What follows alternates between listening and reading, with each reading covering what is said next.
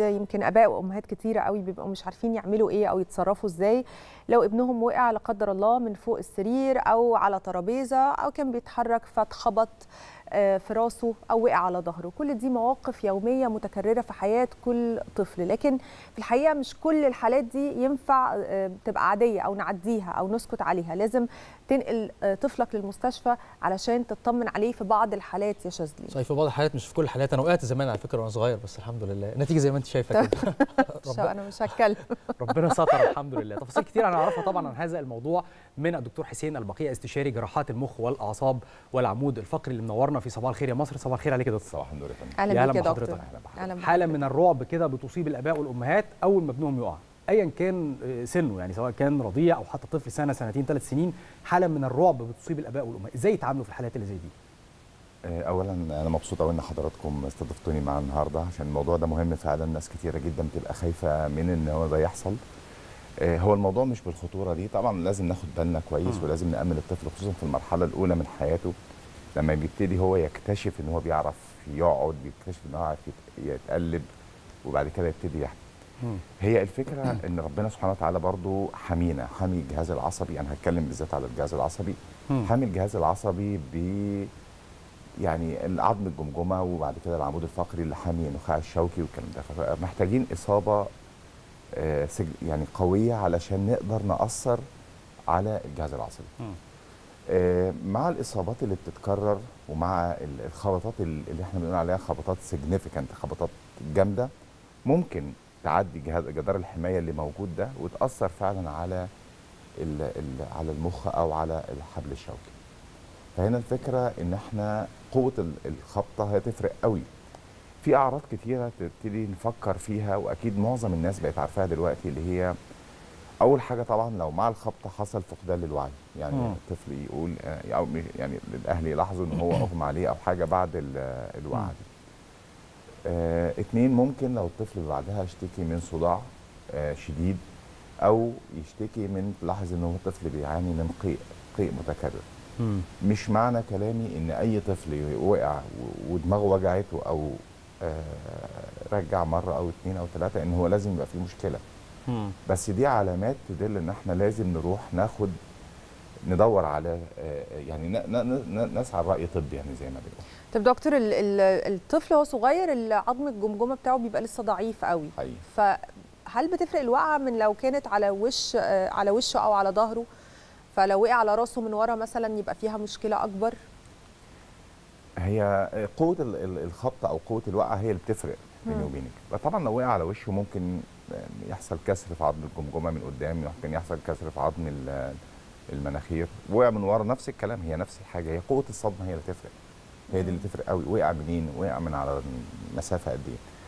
آه هي طبعا تأمين يعني أنا في في أطفال وخصوصا بلكونات وال اللي بيطلع والطفل بقى بيكتشف هو في حاجة جديدة شايفها. ف بعد الشر. فبيقع طيب. للأسف. عطفا على السؤال بتاع بسنت إن الجمجمة بتكون ضعيفة بيكون في كمان فتحة للراس كده. دي حاجة بص هي الناس هي الناس بتخاف أكتر كمان بسبب آه فتحة الراس. فتحة الراس دي آه آه هي الفكرة إن عظم الجمجمة بيلحم عبارة عظم الجمجمة مش مش عظمة واحدة. م. هي عبارة عن مجموعة من العظام اللي بتلحم مع مرور الوقت. ففي الفترة الأولى من الحياة بتبقى الجزء اللي هو اللي قدام ده وفي من ورا كمان بس الجزء من قدام ده اللي بيبقى ظاهر لمعظم الناس. دي معناها إن لسه عظم الجمجمة لسه ما لحمش. يعني هو بياخد ست تسع شهور على ما يبتدي تلحم تماما. بس عظمه يعني الأول على قد ما هي حاجة نقطة ضعف زي ما بنقول ما نقطة قوة. لو في لا قدر الله زيادة في ضغط المخ من جوه أو حاجة بيبقى زي ما نقول لسه بيبقى في براح يعني نقدر نتصرف بسرعة يعني. طب حضرتك اتكلمت عن إنه لو حصل ووقع وعنده صداع أو قيء بعد الوقعة هنا أروح للدكتور. طب أعرف منين بقى إن هو سليم؟ يعني لو في مع إن ممكن يبقى في خدشة أو حاجة بس أنا الأم مثلا بتبقى دايما خايفة على ابنها.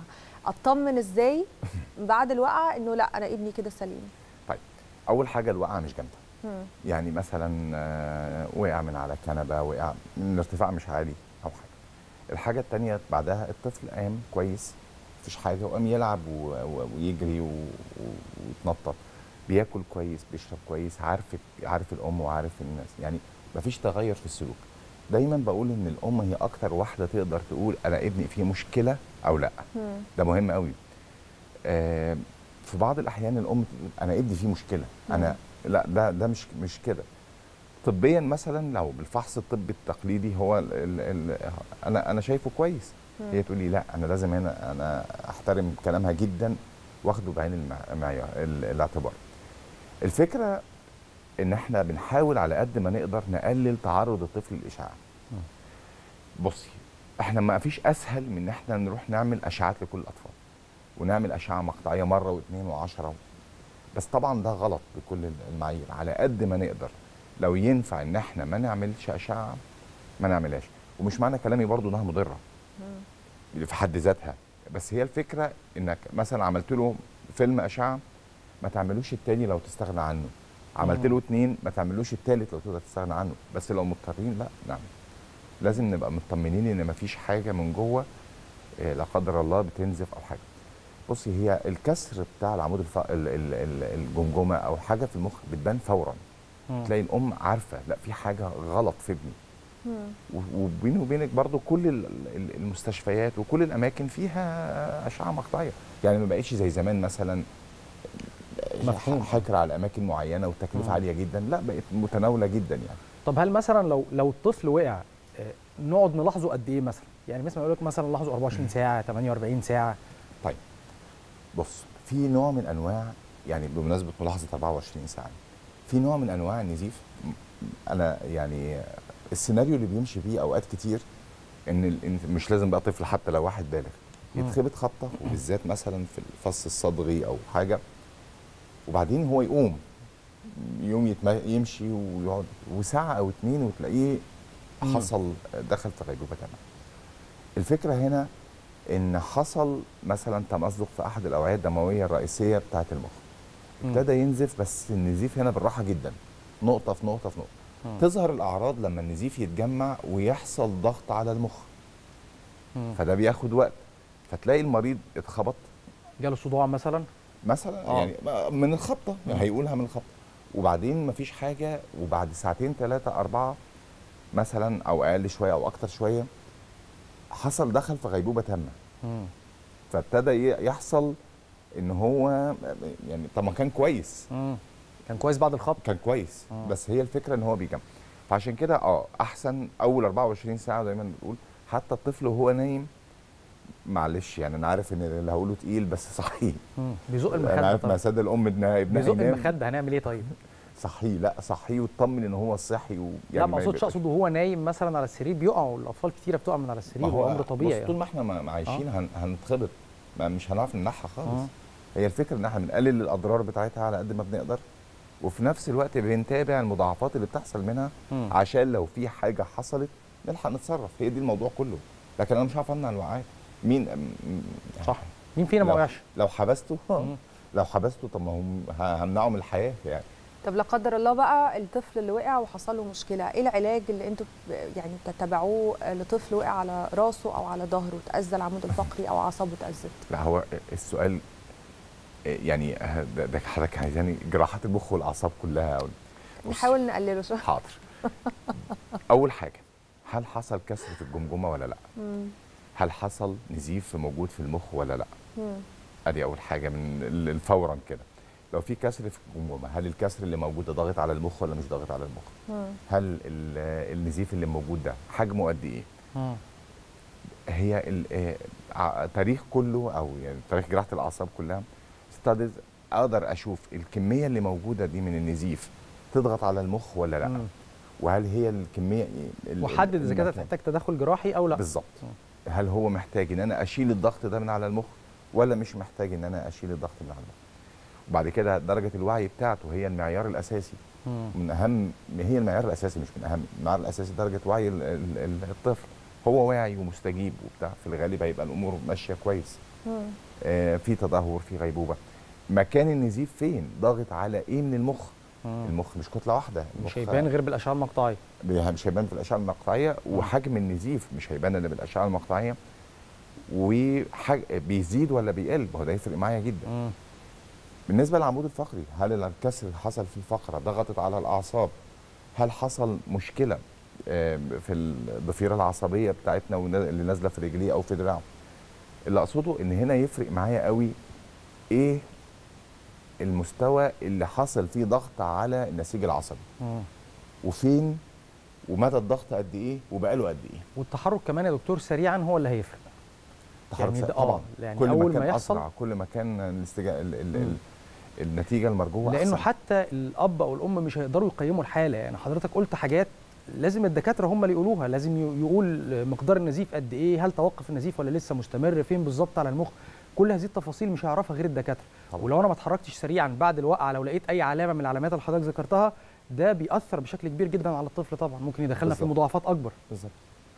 الفكرة إن أو طبعا وجود نزيف أو كده ده مرحلة تانية. إن إحنا شخصنا إن في مشكلة فعلا وده خلاص بقى عهدة الأطباء تماما. مم. أنا اللي أنا عايز أقوله إن مش دايما الوقعة اللي هي بت- بتقعها ال- ال- الطفل بتبقى مشكلة.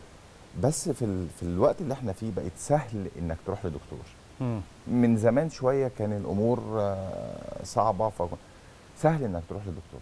لازم على الأقل عدي عليه شوفه يطمن هل لو لو الوقعة جامدة مش. اتخبط في في, في الرجل طب لو لو الجمجمة ورمت شوية دي ده مؤشر لحاجة ولا ده برضه ممكن خالص لا. آه. بص بالنسبة للأطفال الصغيرين طبيعي إن إن إن بيحصل اللي هي فروة الرأس اللي بنقول عليها يحصل فيها زي تورم. مم. وممكن في بعض الأحيان يحصل فيها تحتها نزيف كده موجود مم. يحصل نزيف تحت فروة الرأس الفكرة إن هو خارج عظم الجمجمة خارج جدار الحماية اللي ربنا عامله على المخ. ما بيبقاش فيه مشكلة كبيرة وغالبا بيصرف لوحده خد بالك غالبا يعني. قول 98% من الحالات بيصرف لوحده الأمور تبقى كويسة بس في بعض الأحيان بنحتاج تدخل إلا في الأطفال الصغيرين قوي مم. في الأطفال الصغيرين قوي نسبة يعني ممكن هنا بتصير قلق أكتر شوية لأن عظم الجمجمة لسه مش مش. قوي.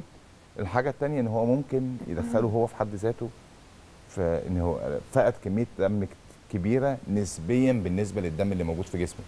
فهنا لازم يتاخد في الاعتبار وبنحسب حجمها. طب أنتوا إيه النصائح اللي بتدوها للأمهات والآباء يا دكتور في الحالات اللي زي دي؟ أو خلينا نقول في الوقاية لو لو عايزين نعمل ده لأنه كتير قوي بنشوف مثلا أطفال أربع سنين أو حاجة راكبين سكوتر في الشارع من غير هلمت من غير أو في شوية من الإهمال من الآباء والأمهات إن هم سايبين ولادهم يلعبوا ألعاب خطر شوية يضربوا بعض بنشوف ساعات ال trends اللي على تيك توك والكلام ده. أنتوا إيه النصائح اللي بتدوها للأمهات والآباء عشان يحافظوا على خلينا أقول يقوا أولادهم من آه، حاجة زي دي إن هي تحصل أصلا آه، في البداية؟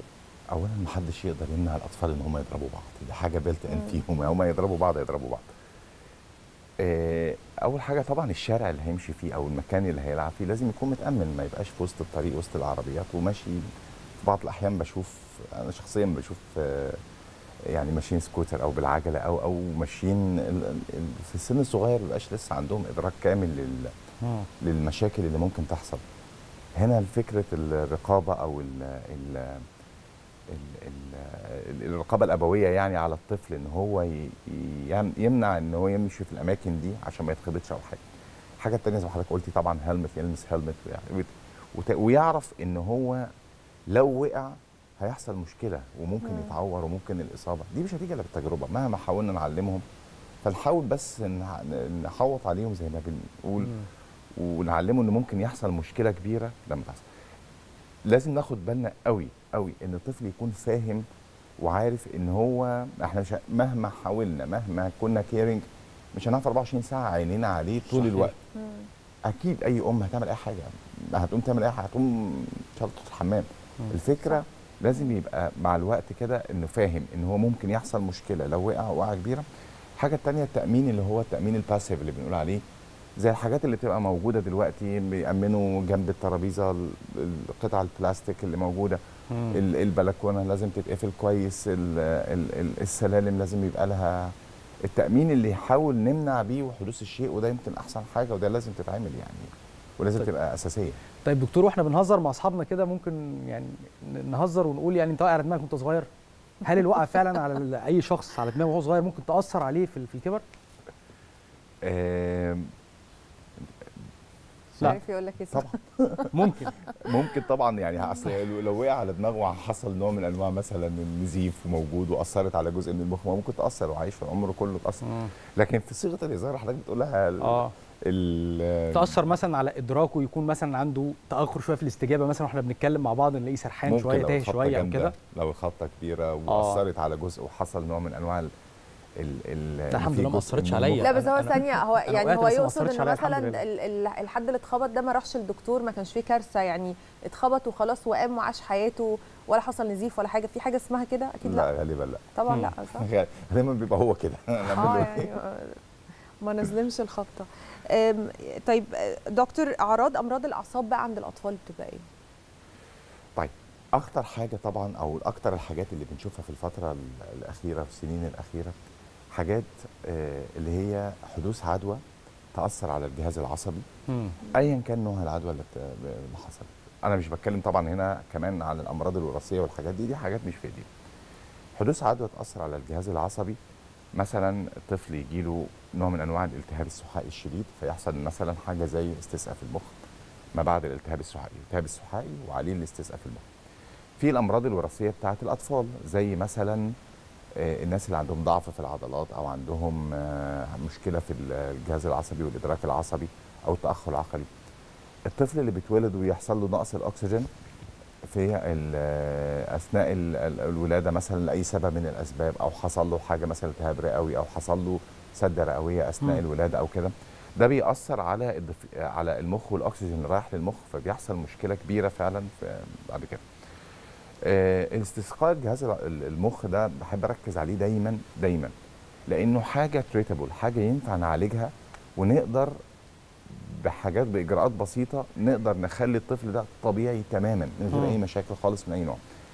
وزيادة تراكم السائل المخي نتيجة استسقاء المخ بأسبابه المتعددة ممكن يؤدي إلى إن ضع- يحصل ضغط على المخ وممكن يحصل مثلا يأثر على عينيه يأثر على إدراكه يأثر على وعيه. على حاجات. وفي حين إن علاجه سهل مم. ومتاح وينفع يتعمل وتقريبا ما فيش مضاعفات. إلا مضاعفات بسيطة جدا لكن كثمن بندفعه لا قليل قوي. مفهوم. طيب على كل إحنا نخلي بالنا قدر الإمكان مش هنقدر نمنع حاجة زي دي لكن هي هتحصل. لكن المهم إن هي أول ما تحصل لابنك لو وقع أو لقيت عليه بعض الأعراض نتيجة هذه ال- الوقعة لازم على طول تتوجه لطبيب عشان يشوف. عشان يفحصه عشان لو في حاجة لا قدر الله نلحقها من البداية. كل الشكر لحضرتك. شرفتنا ونورتنا. دكتور حسين البقية استشاري جراحات المخ والأعصاب والعمود الفقري. شكرا جزيلا يا فندم. شكرا لك يا دكتور.